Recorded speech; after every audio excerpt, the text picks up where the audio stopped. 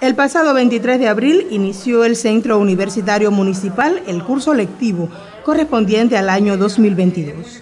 Alrededor de 632 estudiantes asisten a las aulas para incursionar en nueve carreras universitarias. La modalidad que asumimos en este caso es la modalidad semipresencial, que tiene como objetivo fundamental que los, los estudiantes que tenemos en nuestro centro universitario municipal se preparen con la calidad requerida.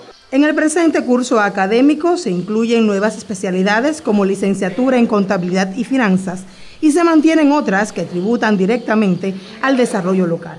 Entre estas carreras se encuentran ingeniería en agronomía, ingeniería en procesos agroindustriales y licenciatura en contabilidad y finanzas. Nosotros eh, como carrera estamos preparando em, y también estamos vinculando a los estudiantes en los diferentes proyectos que se están haciendo en las diferentes empresas de producción de alimentos. Por ejemplo, tenemos vinculado estudiantes de segundo año en el proyecto del plato nuestra denso en Belí, en el proyecto de café en Belí también, donde em, se le da una preparación con unas cuantas temáticas donde le va a servir al estudiante eh, desarrollar su tesis de diploma.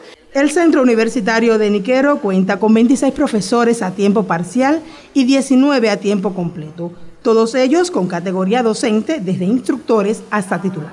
Considero que la calidad de los profesores es eh, excelente, ya que la preparación, la dedicación de cada uno de los turnos de clase es esencial para la formación de nosotros en cada una de las carreras.